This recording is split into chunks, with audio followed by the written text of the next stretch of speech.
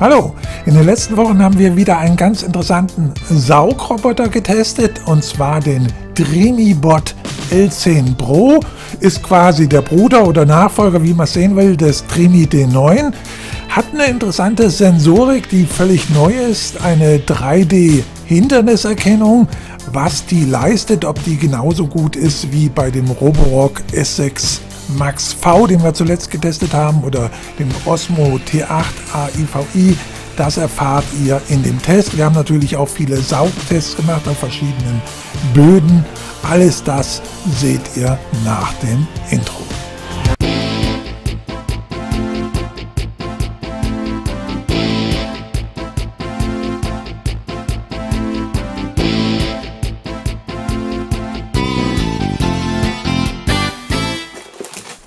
So, bevor ich zu den äh, Testergebnissen komme, zu den einzelnen Tests und so weiter, zeige ich euch erstmal, was da im Lieferumfang alles dabei ist und erzähle euch ein bisschen was dazu.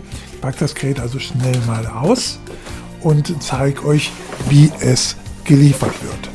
Wie immer könnt ihr den kompletten Testbericht mit den Daten, Bezugsquellen und alles, was ihr zu dem Gerät wissen müsst, natürlich auch nachlesen. Wie immer auf meiner Seite www Akku und Roboter Staubsauger.de. Die Links sind aber in der Videobeschreibung oder eben hier rechts oben auf die Infokarte einfach klicken. Die Bedienungsanleitung ist äh, mehrsprachig, hat also auch einen komplett deutschen Teil. Das Gerät wird ja auch ganz offiziell in Deutschland angeboten. Ich verlinke euch die Shops mal in, äh, auf meiner Webseite. Es kommt gerade erst in den Handel, also äh, äh, der eine oder andere Shop hat es noch nicht, deswegen am besten unsere Links nutzen. Wir hatten das Glück, dass wir das Gerät ja schon einige Wochen früher bekommen haben und so konnten wir das ausgiebig schon testen. Das hier ist der Wischaufsatz mit dem eingebauten Wassertank. Das ist eigentlich nichts Besonderes, ist im Prinzip äh, identisch mit dem Trimi D9. Hat ein Volumen von 270, muss ich mal gerade gucken, stimmt das? 270 Milliliter, ja, 270 Milliliter. Das ist also gleich geblieben. Interessant ist die neue Sensorik an der vorderen Seite. Da äh, sieht aus wie eine Kamera, ist aber, ja, was es genau für eine Kamera ist und diese Sensoren, da gibt der Hersteller gar nicht so viel Informationen. Im Grunde sagt er eigentlich nur, dass es eine 3D-Erkennung ist. Also es wird vermutlich eine Kamera mit etwas niedriger Auflösung sein. Äh, und eben, ich schätze mal, das andere sind zwei Infrarotsensoren, die über Kreuz das äh, Objekt etwa anstrahlen. So in der Art wird diese Objekterkennung oder Hinderniserkennung funktionieren.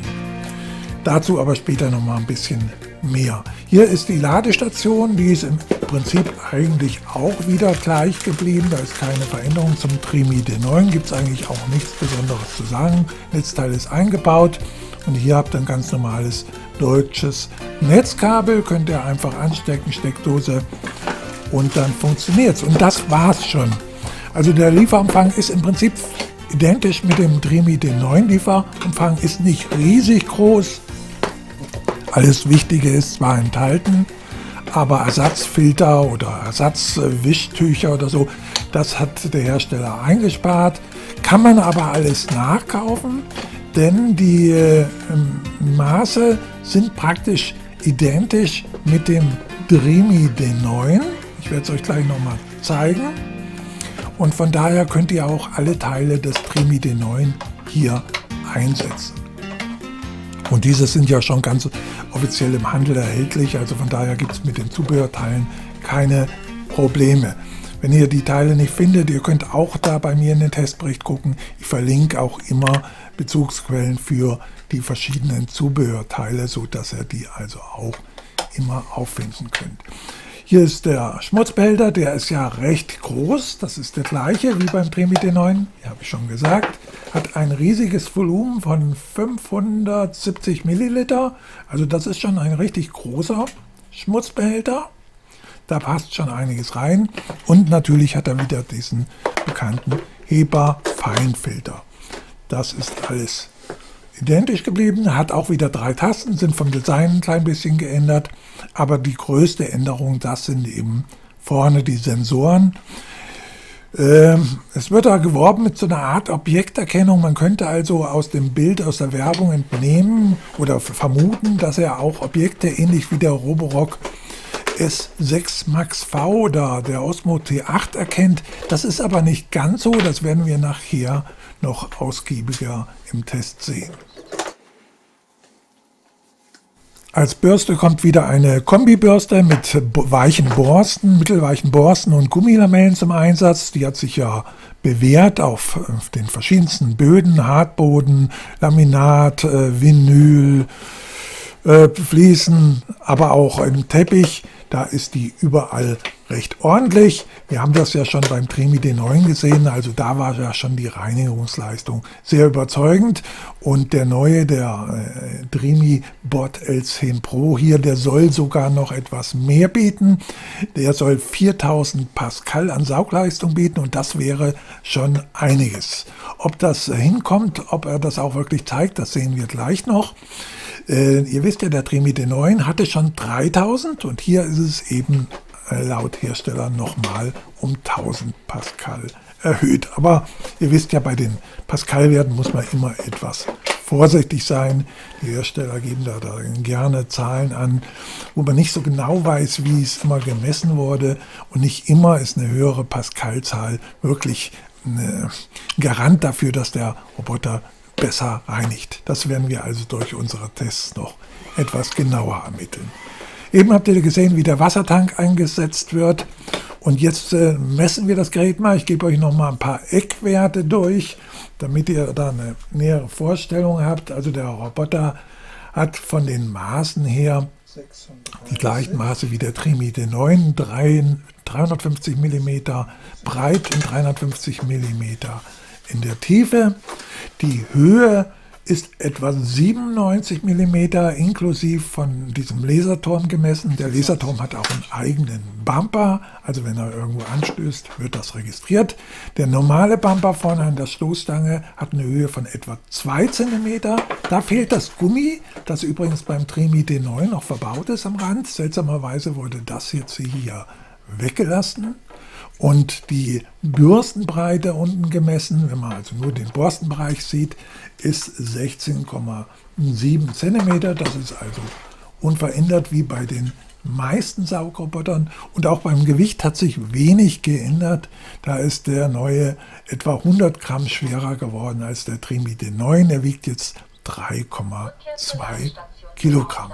So, jetzt schicke ich ihn mal zur Ladestation.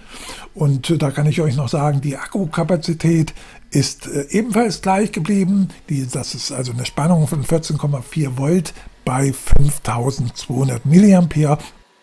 Das ist eine sehr gute Akkukapazität. Äh. Das haben also meistens auch beispielsweise die äh, teureren Roborock-Geräte, die jetzt auf den Markt kommen. Die haben also einen ähnlichen Akku verbaut.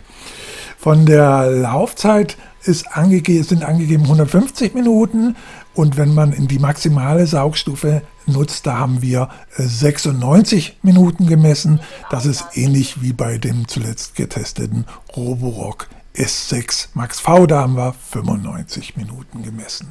Die Standby-Stromaufnahme liegt bei 2,7 Watt. Das ist auch typisch in dem Bereich. So, hier nochmal einen direkten Vergleich. Das schwarze ist der neue Trimi Bot L10 Pro und das weiße ist der Trimi D9. Da seht ihr schon, dass die Geräte also äußerlich und von der Bauform doch weitgehend identisch sind, bis auf die vordere Front, wo die Sensorik doch eine ganz andere ist. Äh, der Trimi D9, der hat mit einer ganz normalen herkömmlichen Sensorik gearbeitet, wie mit dem Laser und eben Infrarotsensoren. Unten sieht man noch einen Unterschied. Das Gummi, ihr seht, der weiße hat, äh, der Trimiti 9 hatte noch ein Gummi vorne am Bumper. Das ist jetzt beim neuen weggelassen worden. Ansonsten sind sie sehr ähnlich und wenn man jetzt das öffnet, das Schmutzfach, habe ich ja schon gesagt, das ist auch identisch. Man könnte das jetzt auch einfach auswechseln. Das ist wirklich baugleich. Da hat sich nichts getan, also Volumen natürlich entsprechend auch. Und wir schauen uns gleich nochmal die Unterseite an. Da hat sich ebenfalls nichts geändert. Es ist die gleiche Bürste verbaut und es wird auch der gleiche Wischaufsatz aufgesteckt. Der hat die gleichen Kontakte. Ihr seht, ihr könntet also auch den Wischaufsatz austauschen. Ihr könnt die Bürsten austauschen. Hat immer den Vorteil, dass man eben besser an das Zubehör rankommt. Wenn Zubehör für mehrere Geräte passend ist, kommt man in der Regel einfach besser dran, weil das dann auch besser angeboten wird.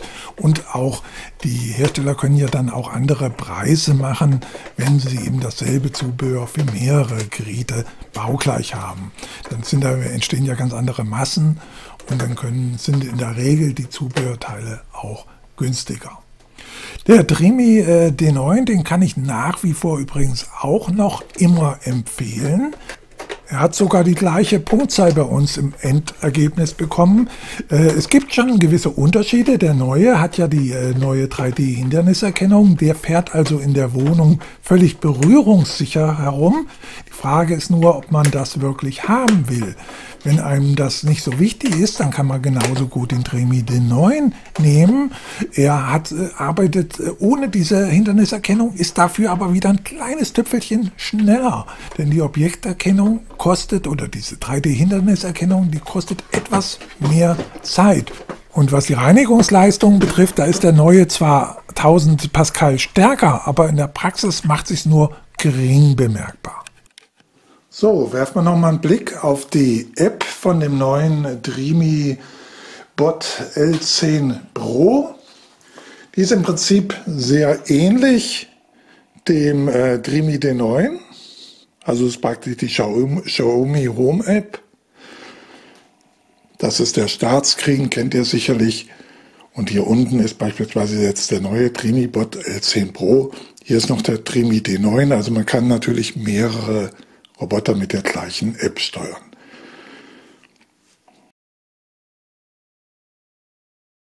Also die Darstellung ist im Grunde gleich wie bei dem Trimi D9. Man hat also in der Mitte praktisch die Karte von, dem, von der jeweiligen Etage. Man kann ja bis zu drei Etagen verwalten mit dem äh, neuen Roboter. Das geht übrigens auch schon mit dem Trimite 9. Da gibt es ja mittlerweile ein Update. Und auch der Trimite 9 kann jetzt genau wie hier der Trimibot L10 Pro drei Etagen verwalten. So, ich beschränke mich jetzt bei der Beschreibung mal auf die wesentlichen Dinge, weil ich die App hier schon ausführlich im Trimi, den neuen Testbericht, vorgestellt habe. Wenn euch das interessiert, könnt ihr da also auch noch mal reinschauen, www.akku und Roboter Staubsauger.de, da findet ihr Testbericht und Video wie immer. Die Darstellung ist also wie gewohnt. Oben sieht man die Quadratmeter, die zuletzt gereinigt wurden und die Reinigungszeit. Rechts oben habt ihr noch zwei Symbole. Oben, das ist die Verwaltung der Karten, da gehe ich jetzt mal drauf. Da könnt ihr eben erstmal den mehrstöckigen Mode einstellen. Das ist eben seit dem Update vom Dream D9 und beim äh, DreamyBot L10 Pro, also den ich hier teste, da ist das schon von vornherein gewesen. Also man kann also hier die Karten verwalten. Wenn ihr eine neue Karte anlegen wollt, drückt da unten das Plus. Ihr könnt jetzt hier auch wählen, welche Karte verwendet werden soll. Da, das hier, da der Roboter jetzt hier natürlich jetzt im Erdgeschoss steht, bleiben wir bei der aktuellen Karte. Daher, wenn wir den Roboter jetzt in eine andere Etage tragen würden, könnten wir jetzt eine andere Karte verwenden, drücken. In der Regel brauchen wir es nicht, weil der Roboter selbstständig erkennt, wenn er in einer anderen Etage steht und dann die Karte auch selbstständig aktiviert.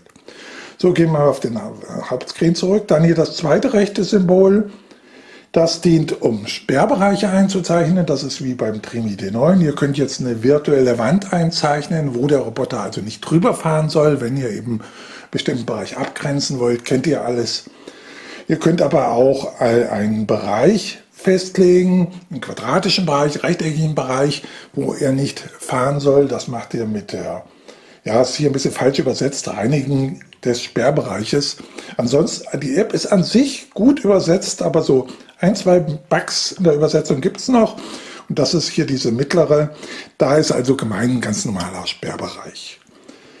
Rechts habt ihr einen Sperrbereich für das Nasswischen, kennt ihr ja. Also wenn ihr bestimmte Bereiche zwar immer reinigen wollt, das ist ja, also wischen wollt, wenn ihr nass wischen wollt, dann äh, wollt ihr ja Teppiche in der Regel ausklammern und da könnt ihr dann über den Teppich praktisch einen Sperrbereich legen, damit ihr beim Wischen eben den Teppich nicht nass wischt, sondern eben nur beispielsweise das Laminat oder Vinyl, was im, um den Teppich liegt.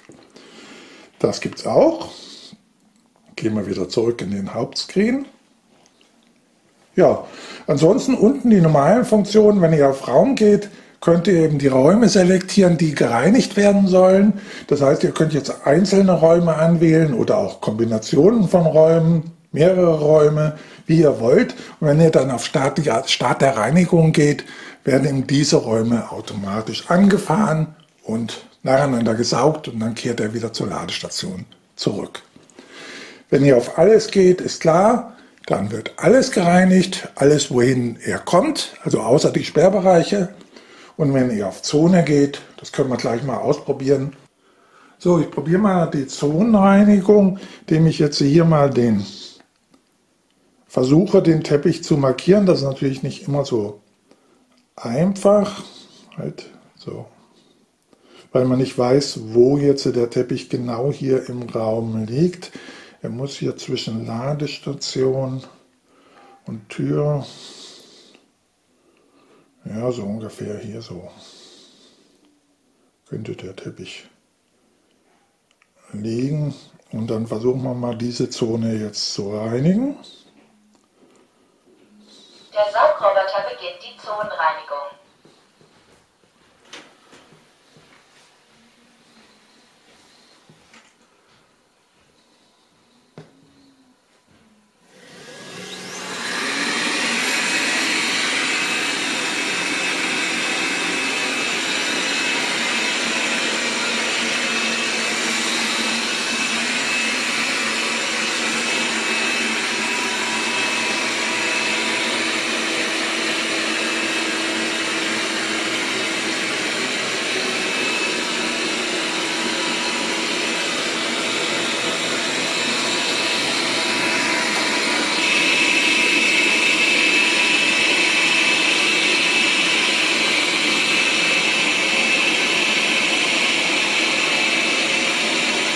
so einigermaßen scheine ich es getroffen zu haben. Nicht ganz, aber so einigermaßen. Denn man weiß ja nicht in der Karte, wo wirklich der Teppich liegt. Man muss sich da immer so ein bisschen an den Raummaßen orientieren.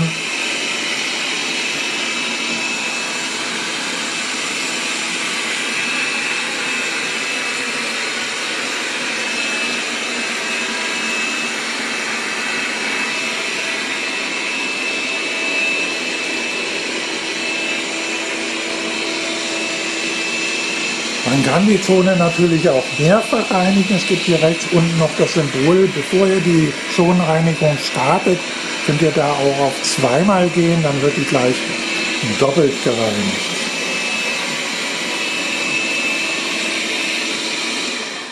Ich nehme die Reinigung wieder auf.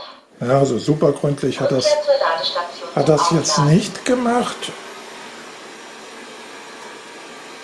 Ja doch, die Karte ist immer ein bisschen verzögert, deswegen sieht man es hier auf der Karte immer ein bisschen später. Das heißt nicht immer, sondern sehr oft ist er eben so ein, zwei Sekunden verzögert. Mit dem Aufladen beginnen. So, jetzt äh, haben wir das war die Zonenreinigung. Ja, unten die beiden Buttons brauche ich glaube ich nicht erklären. Mit links dem Button Laden schickt man den Roboter zur Ladestation und mit dem rechten startet man die Reinigung. Das ist eben das Wesentliche. Ich gehe noch mal kurz ins Menü. Da haben wir dieselben Einstellungen im Prinzip wie bei dem Dreamy D9 schon. Es gibt zwei kleine Veränderungen, die zeige ich euch gleich mal. Wenn ihr auf Geräteeinstellungen geht, dann habt ihr oben jetzt diese 3D, diese hochpräzise Hindernisvermeidung. So nennt sich das. Manche bezeichnen es auch als Objekterkennung, wobei es in der Art eigentlich keine richtige Objekterkennung ist. Die, könnt ihr ein- oder ausschalten. Ich habe sie jetzt hier immer eingeschaltet, aber dazu sage ich später nochmal was. Dann das andere ist alles gleich geblieben. Ihr könnt die Lautstärke einstellen. Ihr könnt den Leistungsschub erhöhen auf Teppich. Das heißt, wenn er auf Teppich fährt, erhöht er die Leistung. Ihr könnt einstellen, Reinigung fortsetzen. Das heißt also, wenn er äh, ja, gesaugt hat und das, äh, die Kapazität hat nicht ausgereicht, dass die Akkukapazität, dann lädt er nach und reinigt dann sofort wieder an der letzten Stelle weiter. Dann gibt es den DNT-Modus, den DNT-Modus. Da ähm, könnt ihr eine Ruhezeit einstellen, also eine Zeit, wenn er nicht reinigen soll. Wenn ihr zu bestimmten Zeiten auf keinen Fall gestört werden wollt, vielleicht durch das Staubsaugergeräusch, durch den Roboter, durch das Geräusch, dann könnt ihr da eine Zeit einprogrammieren und in der Zeit wird er also dann niemals starten. So, dann könnt ihr euch noch eine Erinnerung beim Nasswischen, wann das Tuch gewechselt werden muss, da eingeben. Das ist aber alles wie bei dem Tremi D9. Den Reinigungsmodus, das ist auch alles gleich geblieben. Da gibt es vier Stufen. Und bei der Wassereinstellung gibt es drei Stufen. Bei der geplanten Reinigung, das ist der Timer, das ist auch alles gleich geblieben. Ihr könnt im Timer angeben die Startzeit, an welchen Tagen den Reinigungsmodus, also die Saugstufe praktisch und die Wassereinstellung. Und als Reinigungsbereich könnt ihr natürlich eine Etage wählen oder einen einzelnen Raum oder eine Kombination von Räumen, die gereinigt werden sollen. Ihr könnt mehrere Timer-Programmierungen pro Tag, pro Woche, wie ihr wollt, definieren. Also da ist man wirklich komplett flexibel, wie bei anderen Spitzenrobotern. Dann gibt es den Reinigungsverlauf. Da könnt ihr sehen, wann äh, äh, er gereinigt hat. Ihr könnt auch eine Karte abrufen. Wenn ihr da raufklickt, seht ihr, wie er gefahren ist und gesaugt hat, wie lange er gebraucht hat und so weiter und so weiter. Und könnt das im Nachhinein überprüfen. Auch die Gesamtquadratmeter und so weiter erscheint da auch. Dann gibt es den Serviceplan, da bekommt ihr nochmal Hinweise, wann ihr den Filter reinigen müsst oder wechseln müsst und das gleiche wie Bürste und so weiter und so weiter. Kennt ihr auch alles. Dann die Fernbedienung, das ist neu, das gab es beim Trimi D9 noch nicht, gibt es beim Roborock schon lange. Damit könnt ihr den, Fern, den Roboter fernsteuern. Ihr drückt einfach einmal die Taste nach oben, dann fährt der Roboter los. Der Saugroboter beginnt mit der fernüberwachten Reinigung.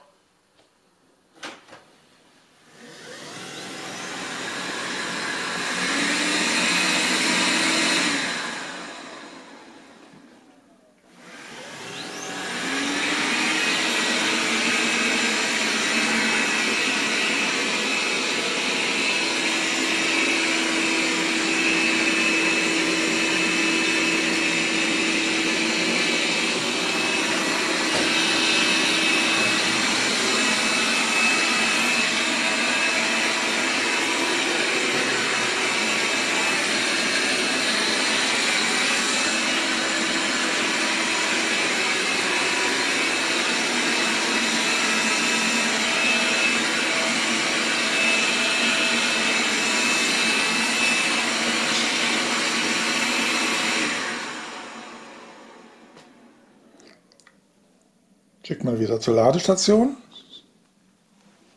Rückkehr zur Ladestation zum Aufladen.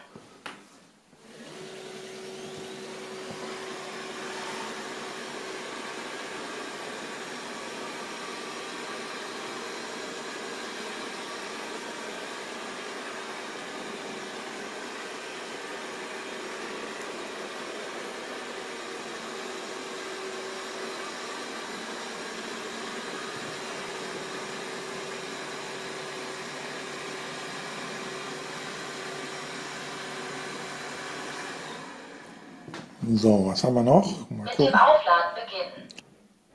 So, dann gibt es noch das Aufsuchen meines Roboters. Dann macht der Roboter ein Geräusch. Der Saugroboter befindet sich hier. Also falls sich der Roboter mal irgendwo verstecken sollte, dann könnt ihr den besser finden. Kommt eigentlich selten oder gar nicht vor. Dann könnt ihr den Gerätename vergeben, ihr könnt den Standort festlegen, Gerät für andere freigeben und so weiter. Das ist eigentlich das Wichtige noch, die Firmware-Aktualisierung. Da könnt ihr immer schauen, ob die aktuelle Firmware drauf ist und könnt die auch automatisch aktualisieren. Das sollte man ab und zu machen. Aber man sieht das auch, weil man auch automatisch darauf hingewiesen wird. Und bei den zusätzlichen Einstellungen einfach nochmal, seht ihr ja, Plugin-Nummer, alles das gleiche wie bei der Xiaomi Home App üblich.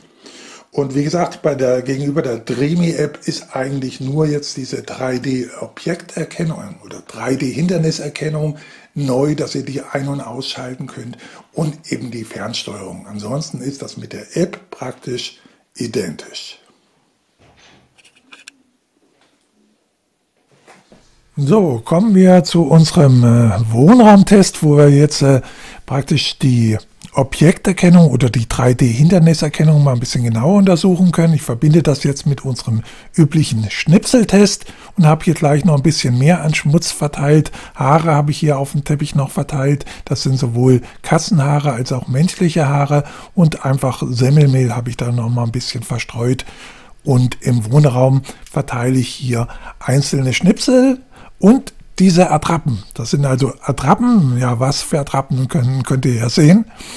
Äh, denn äh, die Hinderniserkennung, ihr wisst ja, wir haben zuletzt den Roborock S6 Max V getestet und der hat ja eine sehr schöne Objekterkennung. Der ist diesen äh, Häufchen von den Tieren, den, Haus, äh, den Tieren, wenn die mal ein Häufchen hinterlassen, es kann ja mal passieren sowas, ist der immer optimal ausgewichen und wir wollen mal sehen, ob das der neue Dremi auch kann. Das wäre natürlich dann ein richtiger Vorteil, der eben klar vorhanden ist. Denn wenn ein Tier, ein Haustier, eine Katze oder ein Hund mal krank ist und mal tatsächlich irgendwas hinterlässt am Fußboden und da fährt so ein Roboter drüber oder streift es nur, dann kann sowas natürlich eine ganze große Sauerei in der Wohnung geben. Und da der Roboter meistens dann reinigt, wenn ihr nicht da seid, merkt ihr das auch zu spät. Und äh, ja, wenn ihr da hilft, sowas zu umfahren, dann ist das eine schöne Leistung. Und dann schauen wir mal, wie das jetzt hier der Dreamy macht. Gleichzeitig habe ich eben noch Schuhe verteilt, eine Steckerleiste und all diese Schnipsel habe ich im Raum überall nochmal verteilt, damit wir einfach sehen, ob der Roboter überall herumfährt oder größere Stellen auslässt. Tja, Ihr seht links wieder die Zeit eingeblendet, wie lange der Roboter läuft. Unten, wenn ich was beschleunige oder rausschneide, seht ihr das unten an der Zeit. Und links habe ich natürlich noch die, das Bild ähm, das von der App eingeblendet, sodass ihr eben auch nochmal live seht, was die App während der Reinigung anzeigt. Ja, ich lasse es erstmal jetzt ein bisschen in der realen Zeit laufen. Er wird jetzt erstmal am Rand entlang fahren. Das ist ja bei Robotern üblich. Schaut euch an, also wie er mit den Hindernissen umgeht.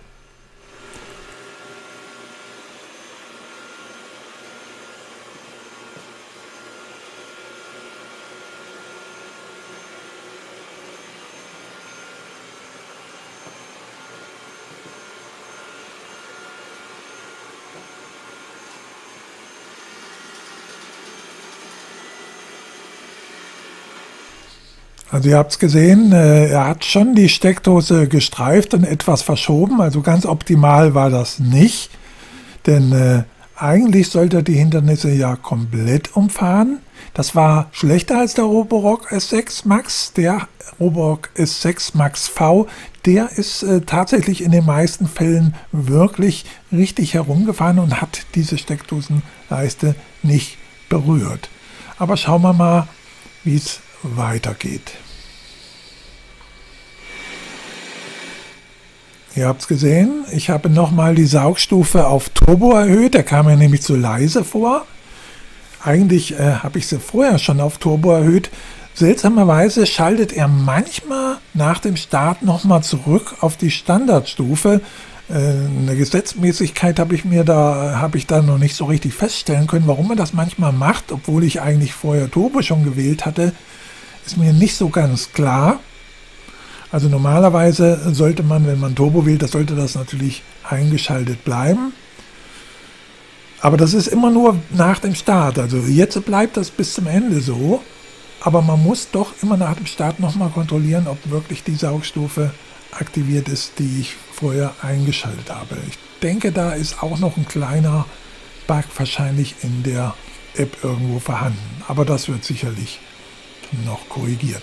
Also hier fährt er nicht in das andere Zimmer, weil ich ja bei der Reinigung das, diesen Raum ausgewählt habe. Das liegt also nicht in dem Magnetband, was ihr da eben gesehen habt, sondern das liegt wirklich daran, dass eben ich nur diesen Raum jetzt für die Reinigung ausgewählt habe. Magnetbänder kann der Roboter nicht erkennen, braucht er ja auch nicht, der hat ja die virtuellen Begrenzungen.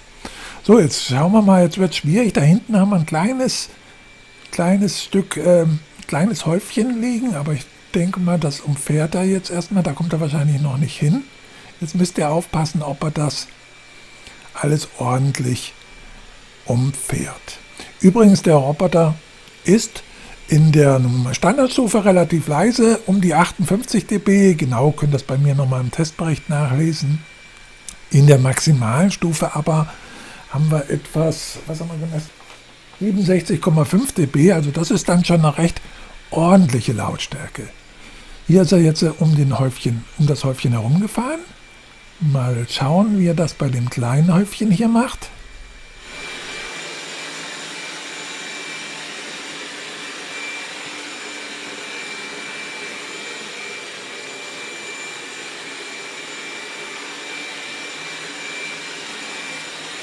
Das erkennt er überhaupt nicht. Jetzt hat er es komplett überfahren und jetzt hängt es in der Bürste. Man hört es ein wenig. Ich habe das am Anfang gar nicht mitgekriegt, dass er das überfahren hat, aber am Geräusch habe ich es dann gehört.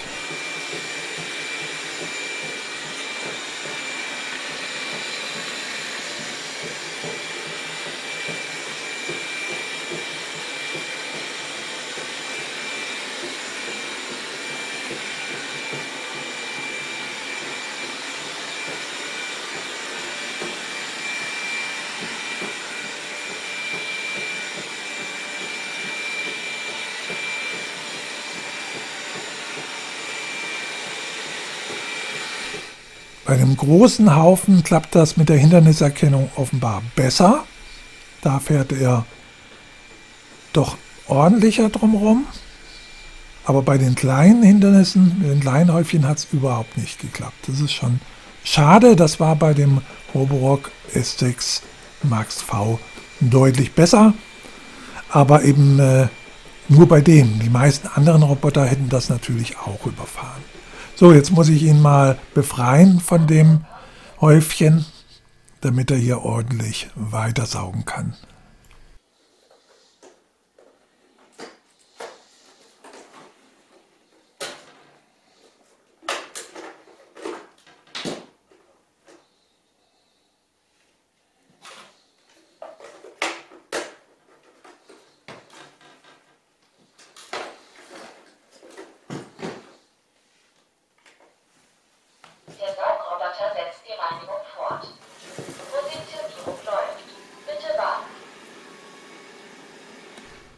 Hier seht ihr es, also unsere kleine Kotattrappe hat er hier im Schmutzbehälter oder zwischen der Bürste praktisch, zwischen der Bürste und dem Schmutzbehälter, da hat die sich eingeklemmt.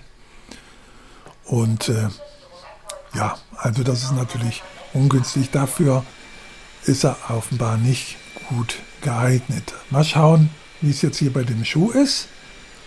Das scheint eigentlich auch gut zu klappen. Ich meine, das ist ja auch ein großes Hindernis. Das schaffen schon fast die Roboter ohne diese besondere Objekterkennung oder 3D-Hinderniserkennung. Die verschieben ihn schon etwas, aber es ist nicht so, dass der Schuh die dann irgendwie blockiert oder so. Die werden halt, der Schuh wird halt ein bisschen verschoben und das war's dann. Es ist auch kein großes, äh, große Tragödie. Bei den meisten Hindernissen ist es ja keine große Tragödie, wenn die ein bisschen verschoben werden. Äh, von daher ist diese, diese super gute Erkennung meines Erachtens eigentlich gar nicht oft notwendig. Sehr vorteilhaft ist eben in erster Linie wirklich bei so Sachen, die eben wirklich Sauerei machen, äh, eben wie Tierkot beispielsweise. Wenn sowas äh, erkannt würde, dann wäre das natürlich schon ein Vorteil für den Haustierbesitzer aber das scheint hier nicht so gut zu klappen.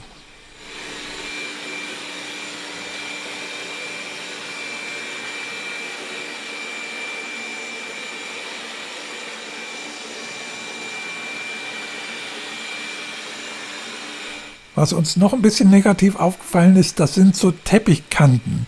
Er hält sich immer relativ lange mit seiner Objekterkennung oder seiner 3D-Hinderniserkennung an Teppichkanten auf, obwohl die eine ganz normale Höhe haben. Also er kann die auch befahren, der hat da kein Problem mit. Er kann ja, das werden wir nachher noch sehen, er kann wie der Trimi den neuen bis zu 20 mm, ich fahre jetzt mal kann der Roboter befahren, also das ist schon eine ordentliche Höhe. Trotzdem hält er sich manchmal an Teppichkanten relativ lang auf und, tut sie, und stellt sich da auch nicht sonderlich intelligent manchmal an.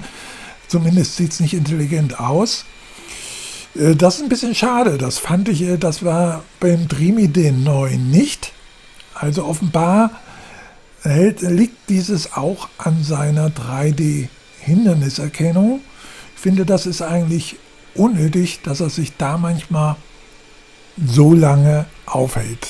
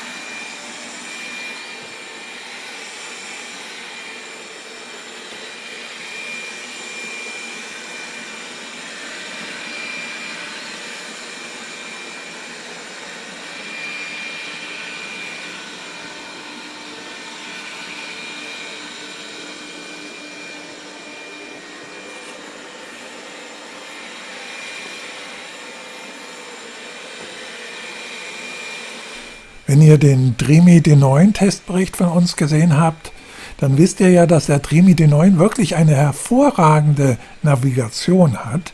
Da, der braucht sich also nicht hinter den äh, normalen äh, Spitzen Roborox wie Roborock S6 oder S5 Max oder so verstecken. Der navigiert äh, wirklich mindestens genauso gut.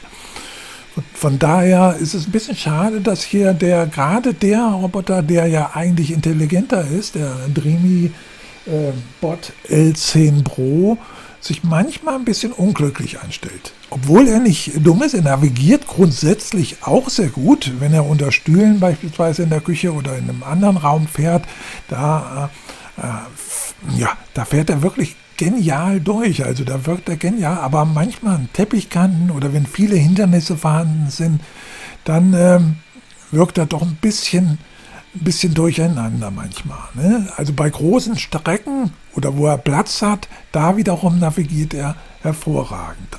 Von Raum zu Raum hat er auch keine Probleme. Wenn ihr den jetzt in einen anderen Raum schickt, das funktioniert alles problemlos. Aber wenn man eben jetzt ganz genau aufs Detail guckt, wenn man nicht aufs Detail guckt, hat man sowieso nichts zu meckern. Das, das ist auf jeden Fall ein Spitzenroboter der äh, genauso gut eingesetzt kann, werden kann wie ein Roborock S6 oder ein S5 oder ein Dremi D9.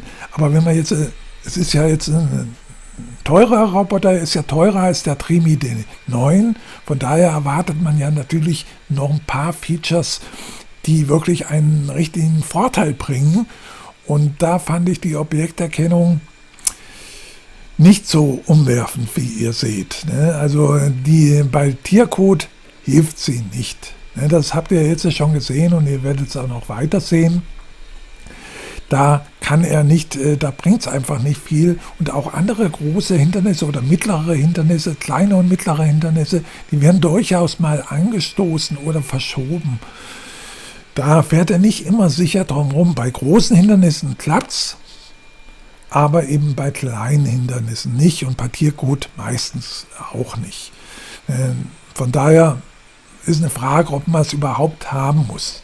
Er geht grundsätzlich natürlich, wenn man es jetzt wiederum mit einem normalen Roboter vergleicht, dem Primi den neuen oder ein Roborock S6. Da geht er natürlich mit den Hindernissen schon etwas sanfter um, aber mit äh, dem Nachteil, dass er sich manchmal an bestimmten Ecken auch ein bisschen äh, ungeschickt verhält und es dann dazu kommen kann, dass auch manche kleine Stelle mal übersehen wird. Gerade bei dem Teppich beispielsweise, den ihr eben im Bild gesehen habt, da liegt der Schmutz eigentlich immer noch hm, recht hoch, weil er einfach da immer noch nicht gerade drüber gefahren ist. Das ist eigentlich wunderlich, denn das hätte er schon längst machen können. Also kleine Nachteile scheint hier die Navigation doch noch zu haben. Und hier seht ihr jetzt immer wieder Code, der ist ja relativ groß und trotzdem wird er nicht gut erkannt und noch gestreift und sogar gleich umgeworfen. Schaut mal hin.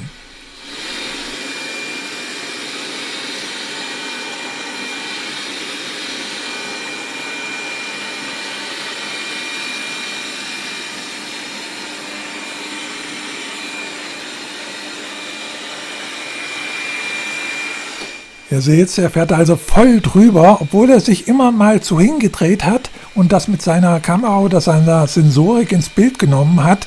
Also er hat es anfangs schon gesehen, aber trotzdem fährt er am Ende voll drüber und wäre das jetzt keine Attrappe aus Kunststoff, dann hätten wir jetzt hier eine große Sauerei.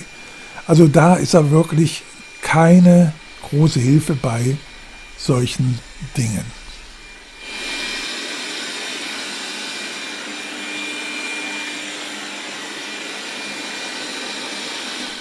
So, ich beschleunige jetzt mal das Video etwas, damit wir hier etwas schneller zum Ende kommen. Ihr könnt jetzt immer noch ganz gut verfolgen, wie der Roboter hier navigiert.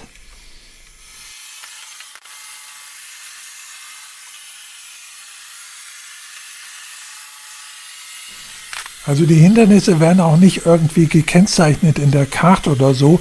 Das heißt, er fährt einfach da drum rum, ähnlich wie beim Stuhlbein. Man kann also auf der Karte ein Stuhlbein nicht von irgendeinem anderen Hindernis erkennen. Hier, das hat er jetzt auch gestreift, habt ihr gesehen, obwohl das eigentlich riesig ist. Das ist, äh, gefällt mir nicht, muss ich ehrlich sagen.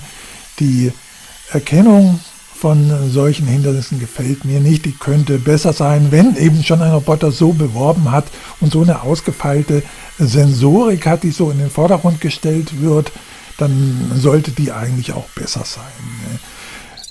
Das gefällt mir nicht. Da ist, gibt es doch Unterschiede zwischen dem Roborock S6 Max V und hier dem Dreamy äh, Bot L10 Pro. Die sind doch recht gewaltig. Der äh, Roborock, der kennzeichnet die Objekte, schreibt auch dabei, was es war am Hindernis, kann sogar ein Foto von dem Hindernis machen. Das gibt es alles hier nicht. Die Kamera kann auch keine Fotos machen, kann auch keine Live-Bilder machen, Live-Videos wie bei dem Roborock S6. Man kann damit nicht in die Wohnung schauen, wie es beim Roborock möglich ist. Das ist sowieso nicht unbedingt notwendig. Ich erwähne es halt nur, das ist mit der, es ist also keine richtige Kamera. Und die Objekterkennung ist auch keine richtige Objekterkennung, sondern sie kann Hindernisse, große Hindernisse schon etwas besser erkennen, aber der große Wurf ist es nicht. Mit dem Aufladen beginnen. So, er ist also fertig. Er hat hier 21 Minuten oder 20 Minuten, zeigt die App an. Wir haben gemessen etwas über 21 Minuten. Ähm, ist relativ äh, okay die Zeit, aber ist länger als üblich. Der Dreh mit den Neuen, der hat das so schneller gemacht und da war es, glaube ich, im Schnitt 18 Minuten. Ich muss aber auch sagen, wenn ich den hier wiederholt gestartet habe, im Schnitt war er auch etwas schneller. Oft hat er es auch schon in 19 Minuten geschafft. Also die 21 Minuten ist schon eine Ausnahme. Aber hier hat er noch viel Schmutz liegen lassen. Ne? Also wirklich viel, da ist er einfach nicht drüber gefahren. Ne, das ist jetzt auch schwieriger Schmutz. Den hätte er sowieso nicht ganz wegbekommen. Das haben wir, hat auch der Roborock nicht ganz wegbekommen oder andere, weil das ist jetzt sehr viel. Aber es hätte wesentlich besser ausgesehen, wenn er da auch mal richtig drüber gefahren wäre. Also die Objekterkennung hat hier bei der Reinigung eher einen Nachteil gehabt als Vorteil. Wenn man natürlich jetzt äh, eine Wohnung hat, wo jetzt äh, Designermöbel drin sind und hat und man möchte halt, dass der Roboter möglichst wenig an die Gegenstände anstößt. Das können ja auch größere Gegenstände wie Vasen, Blumentöpfe oder was ich, was weiß ich, was man alles da rumstehen haben, lassen, haben kann. Äh, wenn er da möglichst keine Berührung vornimmt oder überhaupt nicht anstößt, dann bringt der Roboter schon was. Ne? Dann hat es schon einen Vorteil gegenüber einem normalen Roboter, der ja eventuell mit dem Bumper leicht anstößt. Aber bei normalen Wohnungen stört das Anstoßen, das leichte Anstoßen mit dem Bumper auch nicht. Das gibt in der Regel keine Kratzer oder sowas. Die Roboter bremsen alle vorher ab und stoßen wirklich nur ganz langsam und sanft an. Und meistens ist es wie bei dem Tremi D9 da sogar noch ein Gummi vorhanden. Also da braucht man auch keine Angst haben. Von daher ist der große Vorteil der Objekterkennung sehe ich hier nicht, weil er eben bei Tiercode beispielsweise nicht hilft. Ne, da wäre es eine Hilfe gewesen, aber das hat er halt nicht zuverlässig gemacht. Ich habe jetzt mal die Zonenreinigung so eingestellt, hoffe ich, dass er jetzt hier den Teppich nochmal reinigt, dass er da nochmal drüber fährt, um zu sehen, dass er das doch ein bisschen ordentlicher kann, als es hier aussieht. Das habe ich beim letzten Test auch schon gemacht, beim Roborock S6. Den habe ich auch dann nochmal zweimal drüber fahren lassen. Denn das ist schon eine große Menge und dieser Schmutz, der verhakt sich ja mit dem Teppich. Da reicht in der Regel einmal drüber fahren nicht aus, um den Teppich richtig sauber zu bekommen. Aber das mit dem Staubsauger wären wir ja auch nicht nur einmal drüber gefahren, da wären wir ja hin und her gefahren. Und das ist natürlich beim Roboter auch so. Also das sollte man jetzt nicht als Anhaltspunkt nehmen, dass der Roboter schlecht ist. Wäre er ordentlich drüber gefahren, dann hätte er das auch wegbekommen. Hier, hat hier einfach wegen den vielen Hindernissen etwas unglücklich navigiert, was aber auch an seiner 3D-Hinderniserkennung liegen muss. Man kann die aber auch deaktivieren, das kann ich euch ja sagen, wenn euch das stört und ihr möchtet dieses umständliche Verfahren oder die, die, möchte, nicht, möchte nicht, dass er da auf diese Hindernisse so empfindlich reagiert, dann könnt ihr diese Hinderniserkennung auch deaktivieren und dann sollte er so navigieren wie der Trimi den neuen auch. Und ihr seht, dann macht er das auch schon ganz ordentlich.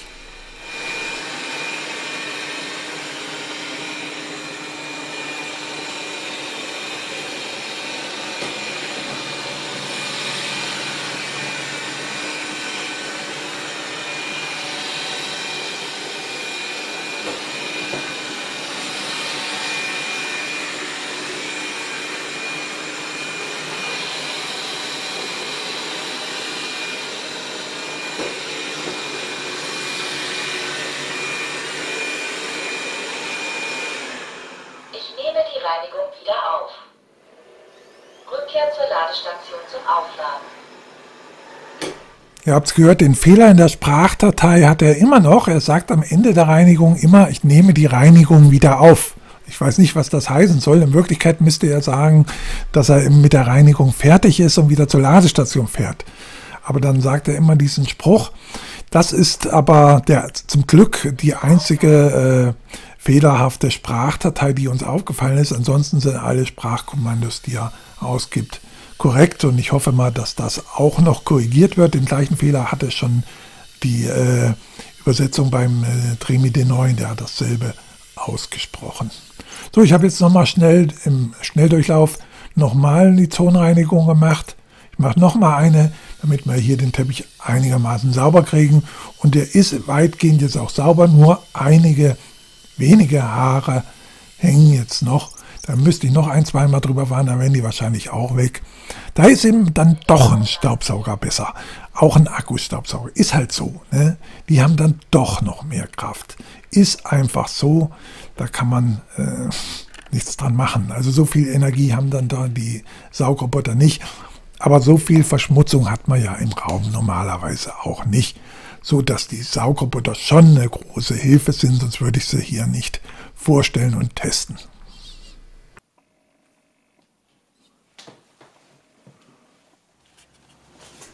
Natürlich haben wir auch wieder spezielle Tests gemacht, um die Saugleistung und die Reinigungsleistung, die Wischleistung und so weiter ein bisschen genauer zu bestimmen und mit anderen Robotern, um die mit anderen Robotern vergleichen zu können. Da machen wir ja immer die gleichen Tests.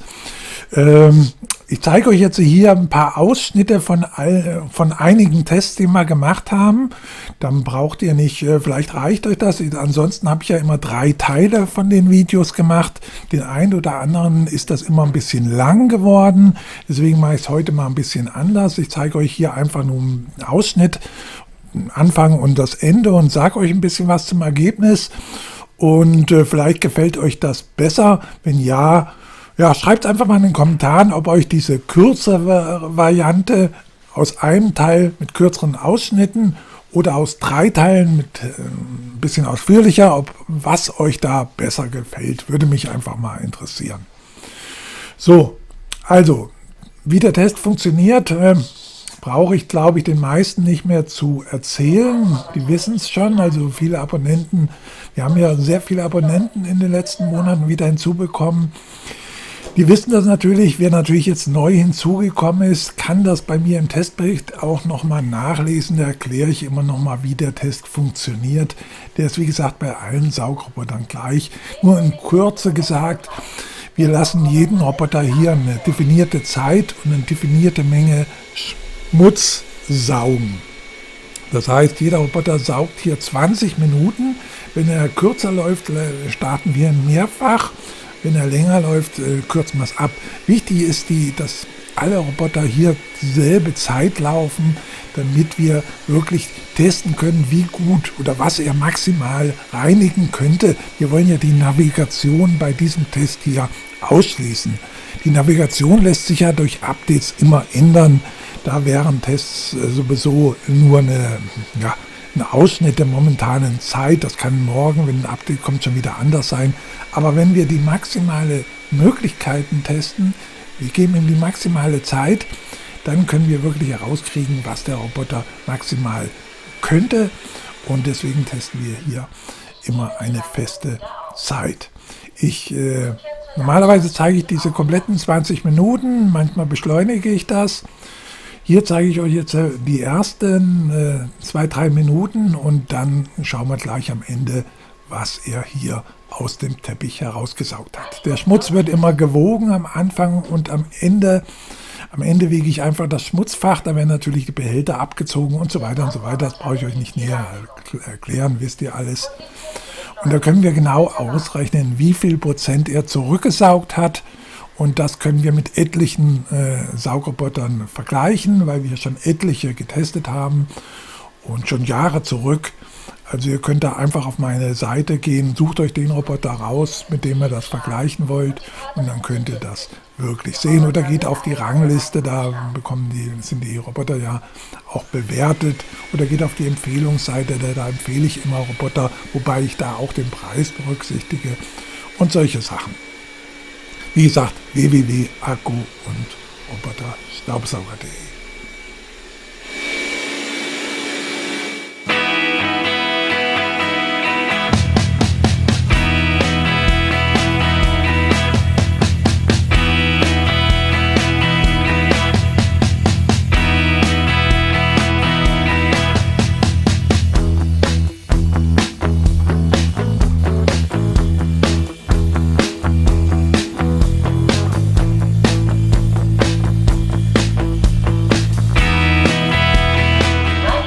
So, die 20 Minuten sind rum. Ich wiege das Ganze und kann dann natürlich schon ausrechnen mit einer Excel-Tabelle, wie viel Prozent er hier an dem Schmutz zurückgesaugt hat, also von dem verteilten Quarzsand wieder aus dem Teppich herausgesaugt hat. Ich fülle es dann nochmal zurück in den Originalbehälter, der ja am Anfang voll war. Und da seht ihr auch optisch nochmal, wie viel jetzt in dem Behälter drin ist. Es sind also 52 Prozent. Ich habe sie hier eingeblendet und einige Roboter, die wir kürzlich getestet haben, blende ich mal im Vergleich mit ein. Und da seht ihr, dass das ein sehr gutes Ergebnis ist. Ne? Also das liegt doch ganz an der Spitze. Es gibt einige Roboter, die besser sind, aber es sind sehr wenige. Und wenn ihr dann auch mal guckt, wer da besser ist, das sind doch äh, in der Regel recht teure Geräte. Ne? Und da ist das ein sehr gutes Ergebnis. Es gibt eine ganze Reihe von Saugrobotern, auch Markengeräten, die da schlechter sind. Im Übrigen ist es das absolut gleiche Ergebnis, was auch der Trimi D9 erreicht hat. Beide haben hier 52 Prozent erreicht. Also da konnten wir jetzt keinen Unterschied zum Trimi D9 feststellen, obwohl der ja 1000 äh, Pascal noch mehr hat. Aber ich habe ja schon am Anfang gesagt, oft macht sich das nur in höheren Teppichen oder ja, im Hochflur bemerkbar. Die Saugleiste bei niedrigen Teppichen wird man oder Farbboden wird man da wahrscheinlich gar keine Unterschiede sehen. Ihr seht schon, wir sind beim nächsten Test. Ich muss mal ein bisschen flotter machen, damit ich hier noch ein bisschen was in das Video reinbekomme. Aber wenn ihr die ganzen Tests sehen wollt äh, oder etwas ausführlicher sehen wollt, könnt ihr natürlich auf meine Webseite gehen. Ich baue euch da noch mal ein Video ein, wo ihr da noch ein bisschen mehr von den Tests sehen könnt. Denn ich werde hier einfach doch nicht alles von der Zeit reinbekommen. Also auch hier haben wir natürlich jetzt der Quarzsand verteilt. Der Teppich hat ein etwas höheres Flor. Und auch hier läuft der Roboter 20 Minuten. Ich glaube, wir kommen gleich mal zum Schluss und schauen mal, was er jetzt hier bei diesem Test herausgesaugt hat. Rückkehr zur Ladestation zum Aufladen. So, die 20 Minuten sind rum. So schnell kann es im Video gehen, dank Schnittprogramm. Hat auch seine Vorteile. Habt ihr ein bisschen Zeit gespart. Und jetzt messen wir das Ganze wieder. Und ich kann es euch schon mal sagen, was da rausgekommen ist. Er hat hier 38 Prozent herausgesaugt. Und das ist ebenfalls ein gutes Ergebnis. Also vergleiche ich vergleiche es mal wieder mit ein paar anderen Saugrobotern. Wenn ihr es jetzt mit dem Dreamy D9 vergleicht, da ist er jetzt hier wirklich besser. Also wie es zu erwarten ist, beim höheren Teppich macht sich dann die höhere Saugleistung tatsächlich auch bemerkbar. Also da hat er jetzt nochmal 8% mehr herausgesaugt. Da ist er wirklich besser geworden als der Dreamy D9. Und er ist natürlich auch besser als viele andere. Er ist auf dem Niveau fast wie dem, von dem Roborock S6 besser als der Roborock S6 Max V, der hat hier nur 26% geschafft und besser als viele andere Roboter. Aber es gibt natürlich auch Roboter, die hier noch besser sind. Aber mit dem Ergebnis kann man auf jeden Fall zufrieden sein. Also ihr seht, das ist auf jeden Fall für Teppich ein guter, sehr guter Saugroboter, den man auf jeden Fall hier empfehlen kann. Wer Teppich hat, sollte den auf jeden Fall ins Auge fassen und sollten vielleicht auch mal mit dem Trimi D9 vergleichen, denn das sind alles äh, zwei relativ günstige Roboter, die doch für den Preis unheimlich viel leisten. Aber jetzt gucken wir nochmal auf Hartboden. Ihr wisst es ja, der Test läuft praktisch genauso ab. Äh, nur verteilen wir jetzt hier drei Dosen Schmutz, also ein richtiger Härtetest ist das, und zwar unterschiedlicher Schmutz. Eine Dose wieder Quarzsand, eine Dose äh, feines Semmelmehl und eine Dose ganz grobes Katzenstreu, was oft sehr schwierig ist, weil das ja wie so eine Art kleine Steinchen funktioniert. Also das ist für den einen oder anderen Roboter ein bisschen schwierig zu erfassen, aber die neueren Geräte packen das eigentlich in der Regel alle recht gut. Jetzt äh, müsst ihr schauen, wie der Roboter am Anfang das aufnimmt, ob er, wie oft er drüber fahren muss, ob er den Schmutz verteilt, nach außen verteilt. Es gibt Roboter, die tun das erst an den Rand äh, verteilen und es gibt Roboter, die nehmen das relativ schnell auf.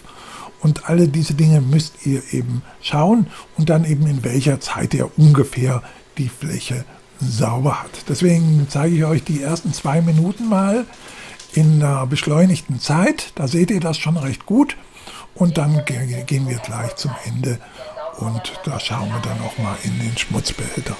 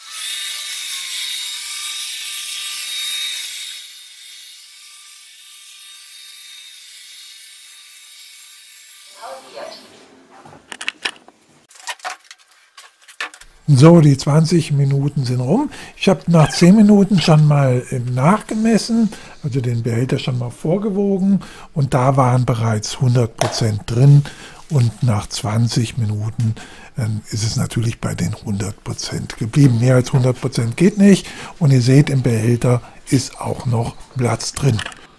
Soweit ist das Ergebnis also durchaus gut, aber am Anfang hat er doch äh, relativ lange gebraucht, bis er die Fläche doch äh, optisch sauber bekommen hat. Das haben andere schon ein bisschen flotter geschafft. So, schauen wir uns nochmal schnell an, wie er den Rand gereinigt hat. Aber da dürfte es auch wenig Unterschiede zu dem Dremiden 9 geben. Also hier mit einer speziellen Dose wird jetzt Quarzsand nur am Rand verteilt. Auch die war vorher gewogen und ich starte den Roboter wieder und lasse ihn so lange, äh, lasse ihn wieder 20 Minuten laufen und messe dann wieder nach 10 Minuten und 20 Minuten, wie viel er dann jeweils eingesaugt hat. Ja, ich spule dann äh, gleich mal zum Ende hin. Ich lasse es erst noch mal eine Minute laufen und dann schauen wir doch noch mal am Schluss nach den 20 Minuten, was da rausgekommen ist. Am Anfang dauert es immer ein paar Sekunden, da fährt er immer ein bisschen hin und her und guckt sich die Umgebung an, bis er dann feststellt, dass er auf einer neuen, in einer neuen Umgebung ist und dann äh, äh, erstellt er praktisch für sich eine neue Karte intern. Deswegen äh, fährt er am Anfang ein bisschen hin und her und wirr, weil er immer noch denkt, er, vielleicht ist er noch in der Wohnung. Denn er hat ja hier von dieser Testfläche keine eigene Karte, deswegen dauert es immer denn äh, um eine neue Karte zu erstellen, müsste man immer die Ladestation einmal umstellen. Ich müsste jedes Mal die äh, Ladestation, Ladestation in die Testfläche stellen, damit er hier eine Karte von der Testfläche dauerhaft speichert. Das ist natürlich ein bisschen umständlich. Deswegen warten wir immer diese paar Sekunden, bis er da eine neue Karte erstellt und dann orientiert er sich vernünftig. Deswegen lasse ich ihn auch meistens hier zu hinten starten da geht es ein bisschen schneller, habe ich festgestellt, als wenn ich vorne starte. Da erkennt er irgendwelche Ähnlichkeiten mit der Wohnung. Wenn ich von hinten aus starte, dann äh, merkt er relativ schnell, dass er in einer anderen Umgebung ist und erstellt eine neue Karte. Er gibt das also durch Sprachanweisungen immer an. Das ist immer eigentlich recht gut gemacht. Ja, man sieht, äh, es dauert ein bisschen, bis er den Rand reinigt. Also bei der Randreinigung ist er nicht die, der stärkste, aber da haben ja viele Saugroboter so ihre Problemchen. Da ist der hier auch keine Ausnahme. Aber schauen wir mal, wie das nach 20 Minuten aussieht.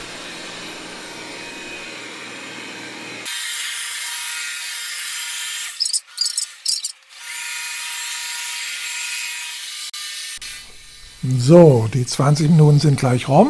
Dann stoppen wir und dann messen wir auch. Also man sieht schon, er hat schon relativ lange gebraucht, bis er den Rand äh, sauber bekommen hat. Es gibt immer noch einig, einige Stellen, wo immer noch etwas Schmutz im Rand liegt, da links in der Mitte beispielsweise. Und sehr viel Schmutz hat er eben auch in die Ecken gebürstet und da kommt er dann am Schluss nicht mehr ran. Ihr seht, wenn man das vergleicht mit anderen Robotern, da liegt er doch äh, nicht so tolle, da liegt er doch äh, auch ziemlich weit hinten mit 52 Prozent. Das ist nicht so rosig. Allerdings liegen hier sehr viele Roboter nahe beieinander. Also da ist der Unterschied nicht so riesig groß zu den meisten.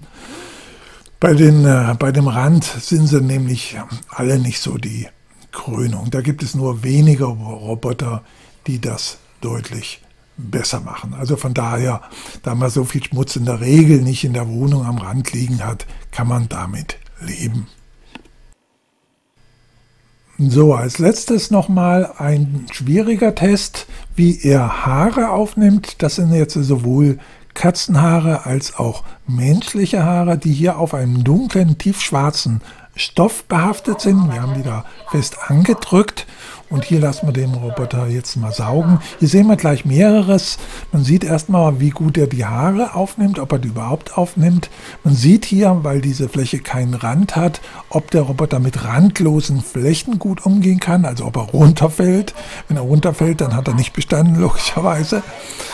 Und man sieht hier gleichzeitig, äh, ob er überhaupt auf schwarze Flächen fährt. Ihr wisst ja, einige Roboter fahren nicht auf schwarze Flächen, weil die Absturzsensoren diese schwarzen Flächen nicht von äh, ja, Abgründen oder Stufen oder sowas unterscheiden können.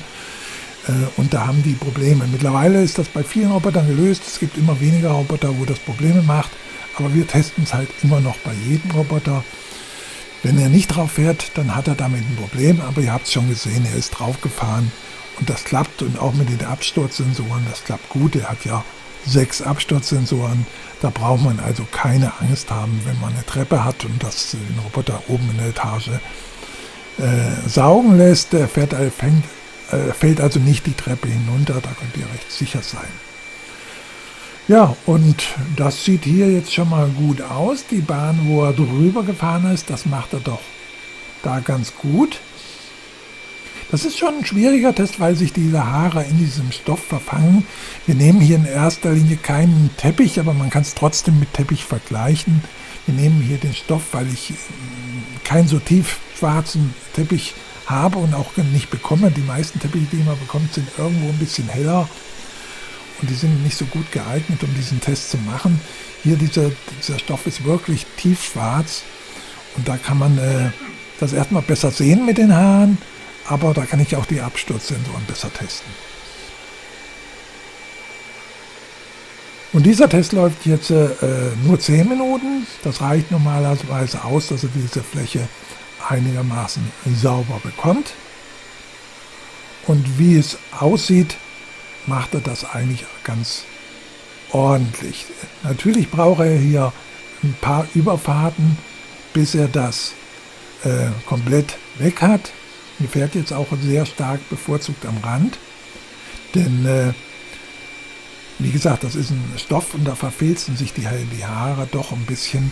Das ist nicht so ganz einfach, wenn ihr sowas im Haushalt schon mal gemacht habt. Auch mit dem Staubsauger hat man da schon, da muss man schon einige Mal drüber gehen, um so Flächen sauber zu bekommen.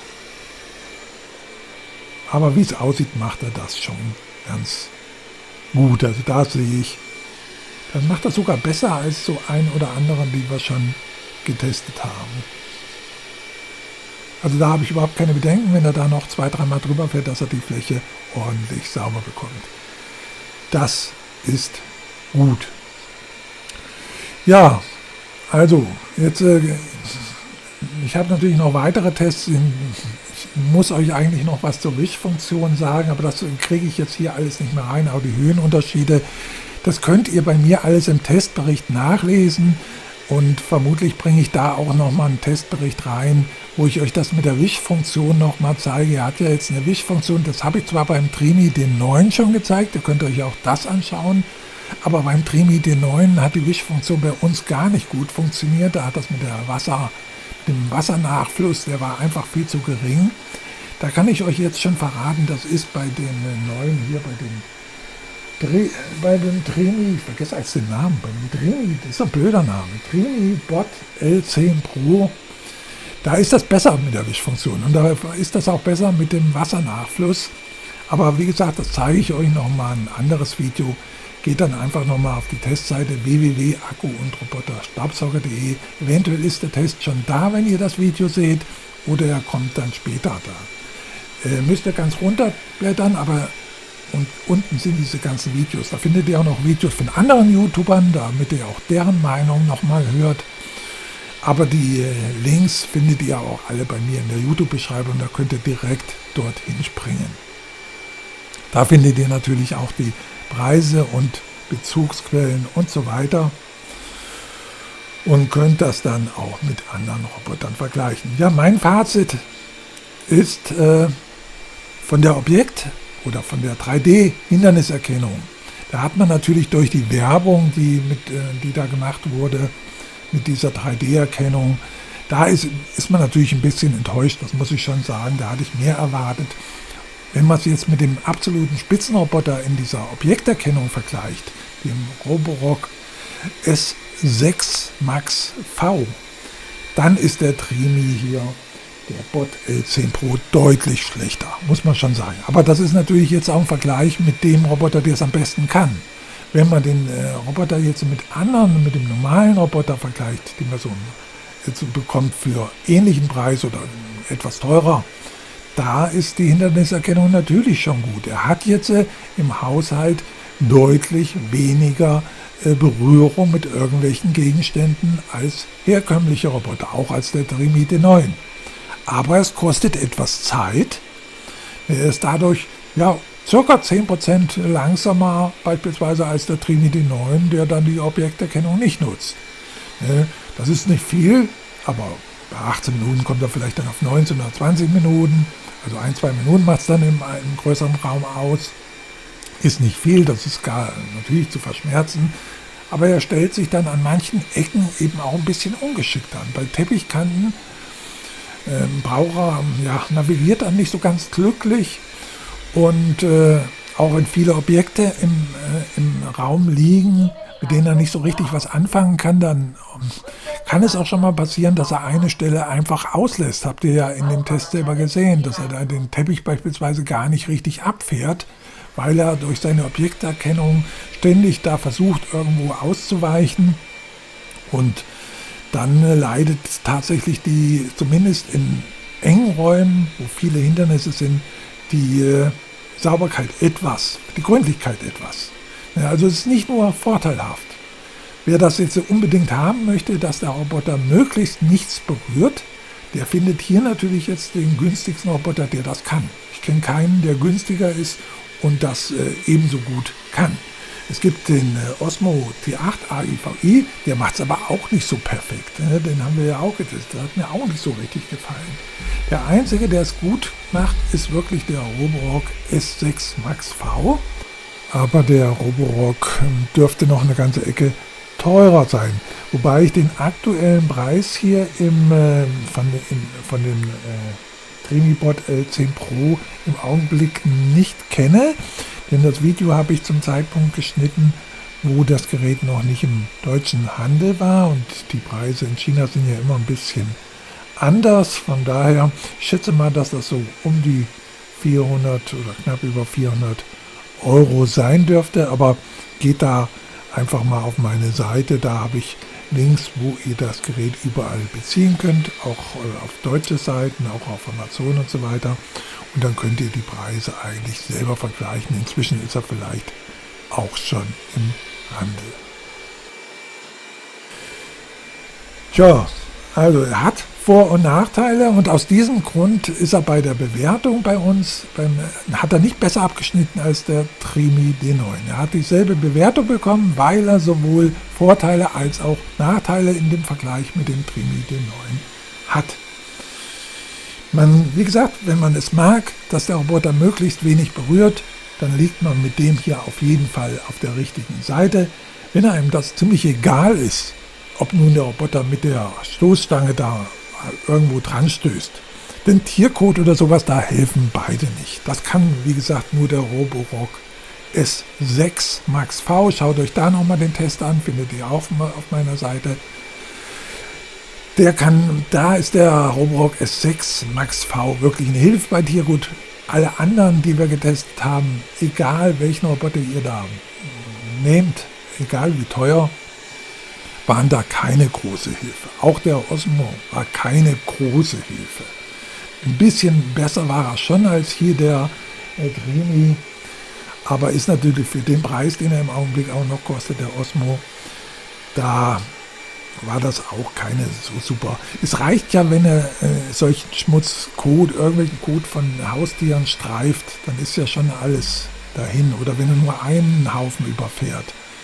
Äh, also sowas muss man dann entweder zuverlässig erkennen oder sonst kann man es eigentlich sein lassen. Also für Haustiere ist er keine hilfreiche Sache. Die Chance, dass er irgendwelchen Code nicht befährt, ist doch ziemlich gering. Man hat eine gewisse Chance, aber groß ist sie nicht. Er ist eben nur dann eine Hilfe, wenn man es mag, dass große Gegenstände, auch Möbeln, Stühle können das sein, vielleicht habt ihr irgendwelche wertvollen Stühle mit irgendwelchen ungewöhnlichen Füßen in der Wohnung stehen und ihr möchtet nicht, dass die befahren werden, dann habt ihr mit dem hier eine größere Chance, dass das auch äh, dass er damit zurechtkommt, als mit einem herkömmlichen, mit dem Trinity 9 oder einem Borg S5 oder S6. Das ist halt der Unterschied. Ansonsten die höhere Saugleistung, er hat eine etwas höhere Saugleistung, aber ihr habt es gesehen, bei den meisten Tests hat sie sich eigentlich nicht bemerkbar gemacht. Nur bei den höheren Flur habt ihr, wenn ihr einen höheren Teppich mit höherem Flur habt, dann werdet ihr hier einen kleinen Vorteil haben. Der ist aber wirklich sehr gering. Also, es ist ein sehr guter Roboter. Man muss da ja jetzt, man muss ja den Roboter mit anderen Robotern vergleichen und wenn man die gleichen Maßstäbe ansetzt, wenn man mal von den Erwartungen jetzt äh, weg absieht, die man durch die Werbung selbst bekommen hat, dann bietet er schon viel. Er hat eine gute Saugleistung. Die Navigation ist bis auf einige Ausnahmen gut. Und wenn einen das äh, Hin- und Her navigieren an bestimmten Stellen stört, kann man ja auch die Objektorientierung ausschalten und dann navigiert er wie ein herkömmlicher Saugroboter genauso gut. So, inzwischen ist er auch jetzt hier mit dieser schwarzen Fläche fertig. Die 10 Minuten sind rum und das hat er sehr gut gemacht. Also da gibt es gar nichts bei den Haaren und Teppichreinigung. Da ist er wirklich gut, sogar fast besser als bei Hartboden. Also da macht er wirklich einen sehr guten Job. So, das soll es gewesen sein. Ich hoffe, ich konnte euch wieder ein paar Tipps geben und die Entscheidung vielleicht ein bisschen erleichtern. Alles weitere zu dem Roboter und anderen Saugrobotern könnt ihr auf meiner Seite www.akku-und-roboter-staubsauger.de nachlesen. Die Links in der YouTube-Beschreibung. Und wenn euch der Kanal gefallen hat, drückt auf den Abo-Button, kostet nichts, hilft mir aber und motiviert zu weiteren Testberichten. Bis demnächst mal wieder.